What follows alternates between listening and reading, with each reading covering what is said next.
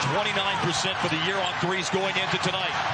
Makes it a two-point game. There's your mismatch right here. Now it's Luka Deep three over four! Luka Magic!